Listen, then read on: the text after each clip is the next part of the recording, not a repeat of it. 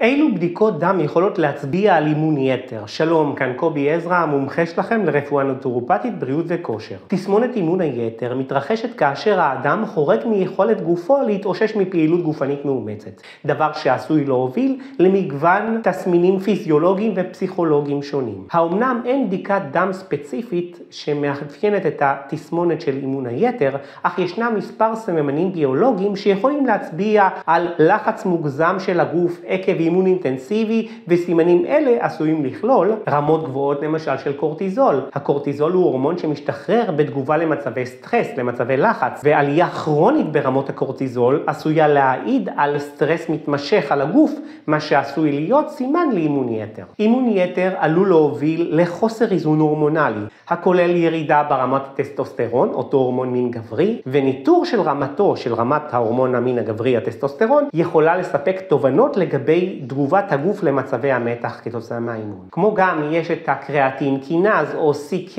שהוא אנזים שמשתחרר לדם בתגובה למצבי נזק לשריר, כמו חבלות או גם אימון יתר, ורמות גבוהות של CK יכולות להעיד על פירוק רקמת שריר מוגזמת, מופרזת. גם באימונים יצימים ישנה עלייה של רמות ה-CPK לגבול מסוים כמובן. רמה עולה מעבר לכך, הדבר עשוי להיות סממן לאימון יתר, וכמו גם לפציעות ספורט.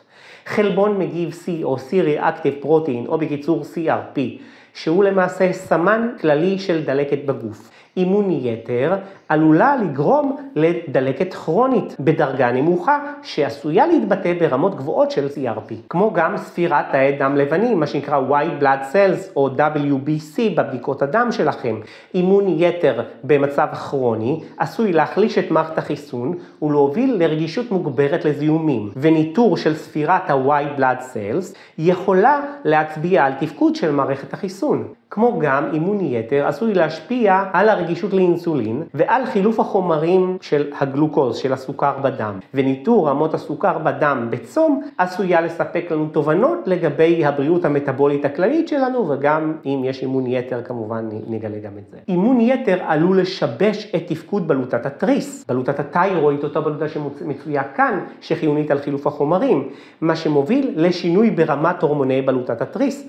וניטור של רמת הורמוני בלוטת התריס, כמו למשל TSH, זה Thyroid Stimulating Hormone, הורמון משפל בלוטת התריס, שהוא מופרש מההיפופיזה פה במוח ומשפיע על בלוטת התריס כאן בגרון שלנו, והיא מפרישה מצידה את ההורמונים T3 ו-T4, טיריודוטירונין וטירוקסין, והמצב הנ"ל יכול לעזור לנו להעריך את תפקוד בלוטת התריס וגם את המצב הכללי בגוף. פעילות גופנית ממושכת ואינטנסיבית עלולה להוביל לחוסר איזון ברמות האלקטרוליטים שלנו בדם, וניטור רמות האלקטרוליטים בגוף שלנו, כגון נתרן, אשלגן ומגנזיום, יכולים לסייע בהערכה של הידרציה ובאיזון האלקטרוליטים בגוף שלנו. אימון יתר עלול להשפיע על ייצור תאי הדם האדומים ולהוביל לשינויים ברמות ההמטוקריט וההמוגלובין, מה שעלול להשפיע על אספקת החמצן לרקמות, וכך גם ירידה בסיבולת של הספורטאי כתוצאה מאימון יתר, כלומר ירידה בביצועים הספורטיביים. חשוב לציין שהתגובות הן מאוד אינדיבידואליות לאימון יתר ועשויות להשתנות, ושינויים בסממנים הביולוגיים האלה